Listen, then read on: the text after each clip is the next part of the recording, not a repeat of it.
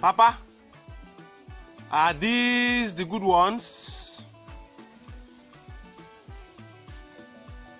Son, I have not gone to heaven to hear the story.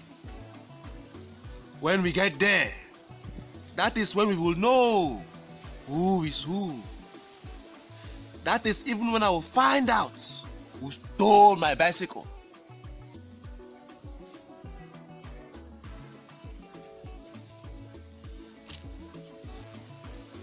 Okay, Papa. But remember, you were sleeping on the bicycle when it was stolen. How are we sure you wouldn't be sleeping when the angels announce the culprits?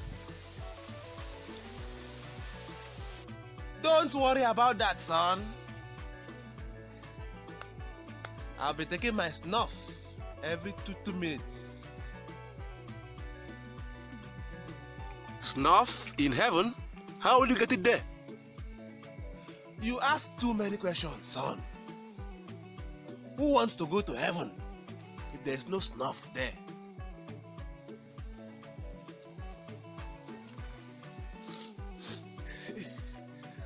I pray Efiong the snuff maker dies before me.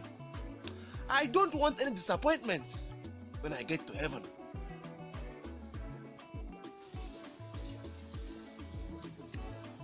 Papa, how are you very sure you will go to heaven?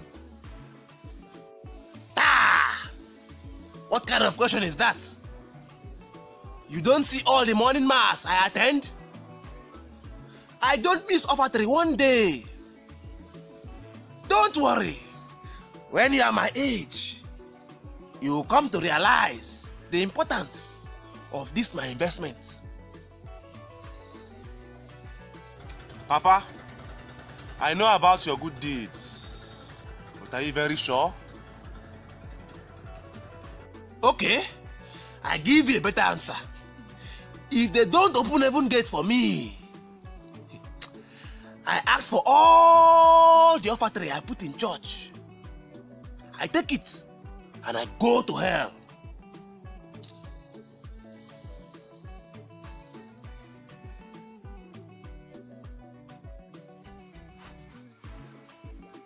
Papa, your face change just now. Your question make me feel somehow. It make me feel somehow, son.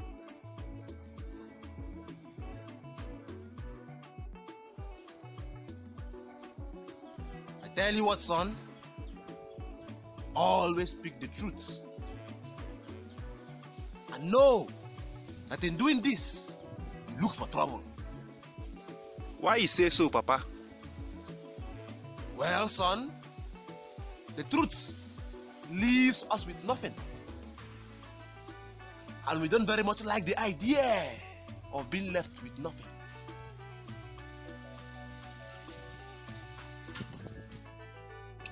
So, does everyone know the truth?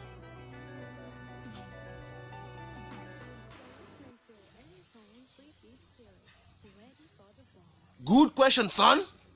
Very good question. To that I say, there's the truth and there's the rule. Many keep the rule and throw away the truth. Word of advice, son. The truth is hard to keep. But don't forget the truth.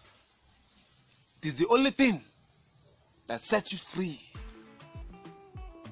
Always speak the truth. Everybody knows the truth.